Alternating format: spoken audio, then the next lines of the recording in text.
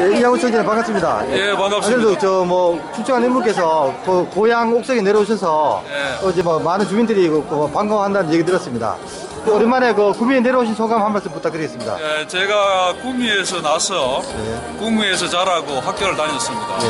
그래서 고등학교부터 이제 대구에 나가서 이렇게 쭉 다니다 보니까 뭐 그동안 가끔 오긴 했지만 네. 자주는 못 왔습니다. 제가 농촌진흥청장으로 지난달 퇴임을 하고 네. 근데 부모님도 계시고 이래서 와서 고향 어르신들도 만나고 네.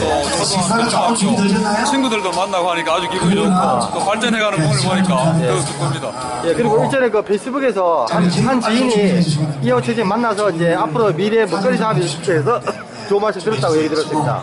그때 아주 뭐 빛의 걸 얘기 들었다는데 어떤 건지 알수 있을까요? 뭐.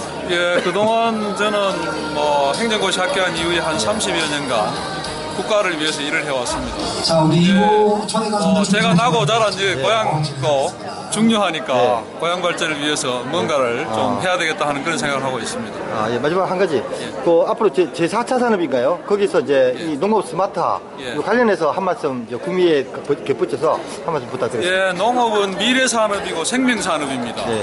우리가 먹지 않고는 살 수 없습니다. 네. 농산물이 먹거리이기도 하지만 첨단 과학 기술, 네. 정보통신 기술과 합치면 스마트팜도 될 수 있고 네. 약품도 될 수 있고 아주 고부와 가치 산업으로 발전할 수 있습니다. 네. 그런 측면에서 미래 생명 산업인 농업을 첨단 구미가 가지고 있는 첨단 기술과 합치면 미래 바이오 산업으로 네. 아주 고부와 가치 산업으로 발전할 수 있는 그런 좋은 계기가 될 것으로 생각합니다. 아, 예, 아주 무궁무진한 분야 같습니다. 앞으로 또 나중에 시간 내서 좀더 자세한 얘기 좀 듣고 싶습니다. 예, 나중에 좀 감사합니다. 부탁드리겠습니다. 예, 감사합니다.